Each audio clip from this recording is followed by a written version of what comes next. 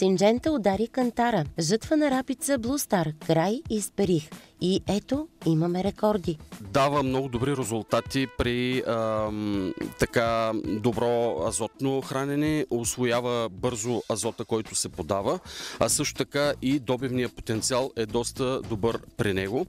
Виждате на това поле доста разклонения и шушулки а, има при него, като а, се очаква добив между 450 и 500 кг на декар. Най-впечатляващите качества на Blue Star. Като сре, а, ранозрялост той е средно късен. А, има много добра толерантност към а, фома и склеротиния. Също така е подходящ за интензивно отглеждане, като има много добър а, а, толеранс към а, засушаване.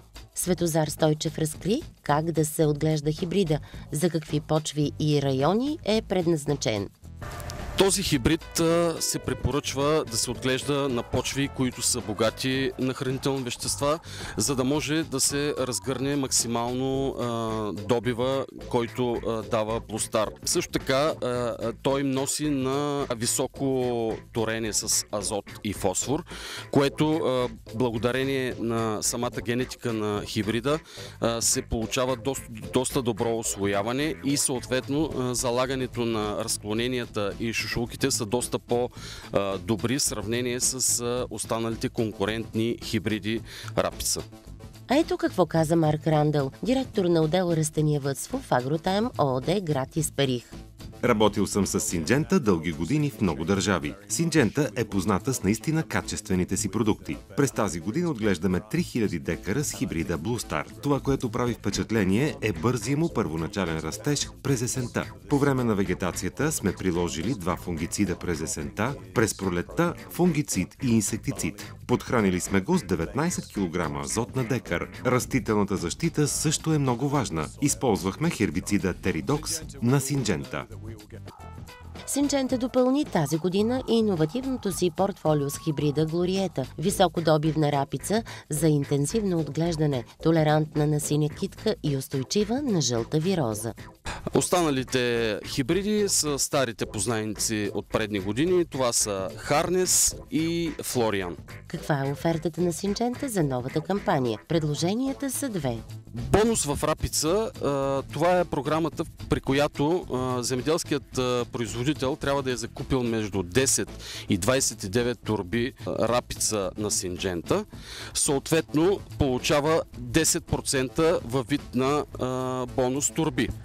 А вече над 29 турби а, нагоре а, земеделският производител получава 20% а, бонус турби рапица. Следващата а, програма, това е сигурност в рапица. Това е а, отново за всички земеделски производители, които са засяли а, над 300 декара а, площ с а, хибриди на Синджента. Съответно, а, Синджента покрива, а, покрива всичките им площи, които не са поникнали поради суша. Какво представлява тази програма? Също трябва да е попълнена талон от регионалният представител, в който се посочват хибридите и декарите, в които те са сяти. И съответно, ако те не са поникнали поради суша, Синджента възстановява толкова декара семена слънчоглед, за колкото не са поникнали. Съответно, трябва и в определен срок тази рапица да се разоре.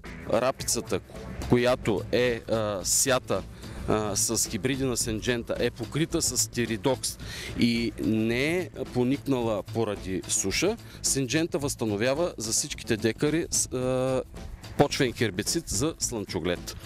Пълните условия на програмите Бонус в Рапица 2021 и Сигурност в Рапица 2021 ще научите от регионалните представители на Синджента или от уебсайта на компанията www.syngenta.bg.